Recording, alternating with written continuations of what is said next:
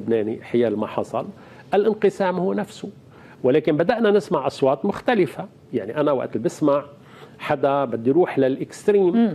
مثلا مثل السيدة يمنى آه، جميل. بشير الجميل بنت بشير الجميل لما بتقول نحن إذا إسرائيل اعتدت نحن رح نكون مقاومين لإلها. هذا موقف مختلف تماما عن اللي كنا بنسمعه. بتشوفي الشعور العام اللبناني إنه إسرائيل إذا اعتدت علينا وأنا بقول لك شعور نسبة كبيرة من اللبنانيين إذا اعتدت علينا نحن رح نصدها. بس نحن ما بدنا حزب الله يدخلنا بالحرب. هيدا كمان جزء كبير من اللبنانيين يقولونه. اذا الحزب بين الخيارين.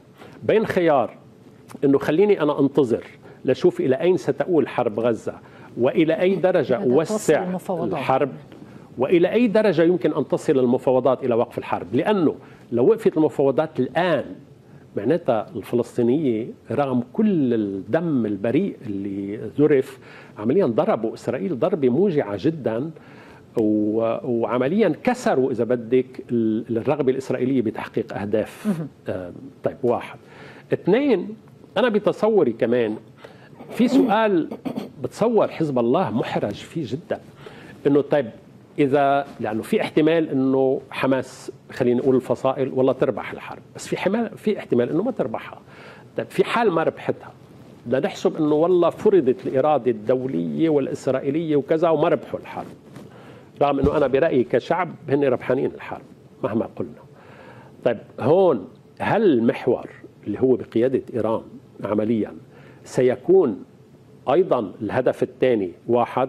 واثنين هل يستطيع أن يبرر للعالم أنه نحن تركنا جزء من المحور ينهزم دون أن نوسع الحرب بشكل في كبير سقف وضع يعني سماحة السيد حط من الشروط آه، آه، هي مش والله عدم هزيمة- بقاء- انتصار حماس. انتصار هو عم مش بقاء. مش إيه. بقاء يعني أو عدم هزيمتها انتصار إيه بس يعني لا، بس ما بعرف إذا حدد عالي. هو انتصار عسكري ولا سياسي بلكي ما حدد العسكري بس خروج حماس منتصر لأنه اليوم إذا توقفت الحرب إذا توقفت الحرب الآن هلأ في ناس عم بيقولوا لك الأبرياء إيه اندفع ثمن كثير كبير وكثير بشع وكثير تضحيات بس إذا توقفت الحرب الآن ولم تحقق إسرائيل الهدفين الأساسيين انه سحق حماس وإطلاق هيدا سراح. اسمه ربحوها هيدا آه، انتصار عملياً. سياسي.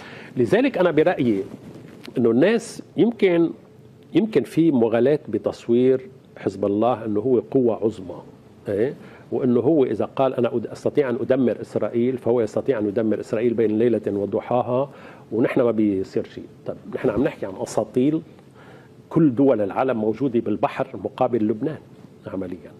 عم نحكي بقوة غاشمة إسرائيلية سحقت مدينة كاملة ولم يتدخل العالم.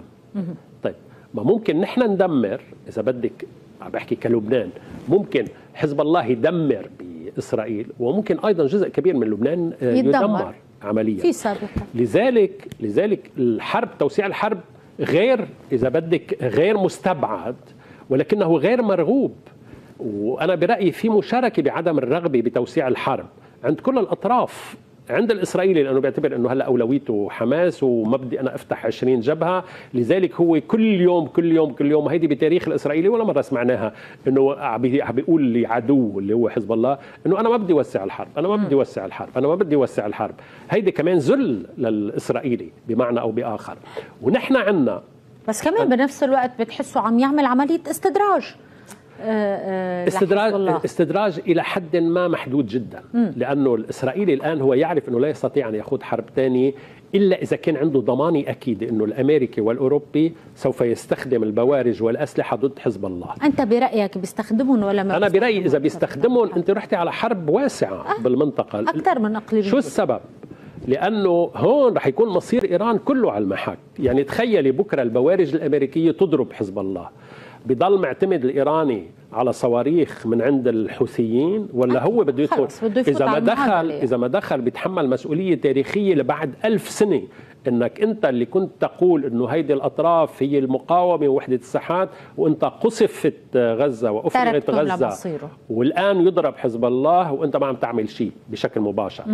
أنا برأيي مشان هيك الأمريكي والإيراني والخليجي والدول العربية من مصر وغيرها ينحون باتجاه إنهاء الحرب الآن وعدم توسيعها إلى الجبهة اللبنانية أو جبهات أخرى. ولذلك بتشوفي إنه بعد العمليات رغم إنه عم تتوسع شوي شوي بس بعدنا نحن محدودين بإطار معين. بس وين الخطر سمر